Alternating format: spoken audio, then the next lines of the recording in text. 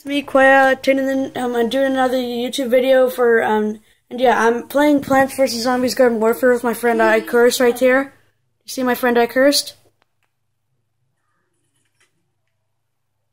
Hey, um, anyway, we are doing this little glitch where, uh, we could actually put a potato mine on, on, on midair. So, uh, do you see that potato mine under I Cursed?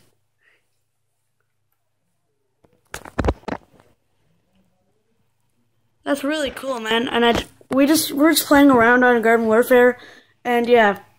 So I'm gonna end this video here right now, cause uh, or no, actually I'm gonna keep on doing it, and we're just gonna be right back with the sunflower, so we can do the glitch again. Uh, yeah.